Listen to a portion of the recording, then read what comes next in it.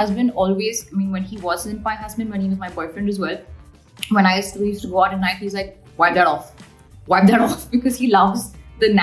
Fashion সাময়িকী ভোগের ভিডিওতে আলিয়া ভাটের মন্তব্যে এরই মধ্যে সমালোচনার ঝড় বয়ে যাচ্ছে স্বামী রণবীরের উপর দুদিনের মাথায় আবারও খবরের শিরোনাম রণবীর তবে অন্য কারণে গাড়ির ব্যাপারে রণবীরের আছে আলাদা দুর্বলতা। এ ব্যাপারে বেশ শৌখিনও তিনি।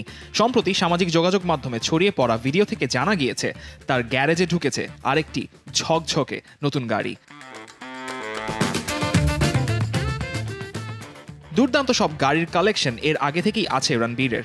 এবার সেই তালিকায় যোগ হলো নতুন মডেলের আলিশান এক রেঞ্জ রোভার কালো রঙের এই নতুন গাড়ি নাকি দারুণ, এমনটাই বলছেন রণবীরের কাছের মানুষজন।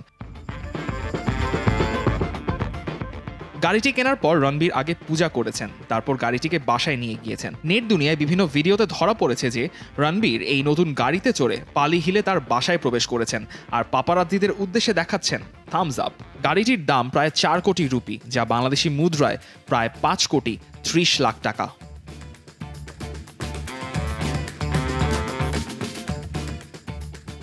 রণবীরের গাড়ির কালেকশনে Audi A eight L Land Rover Range Rover Vogue Mercedes Benz A M G G sixty three Range Rover sports Audi R eight এসব গাড়ি রয়েছে।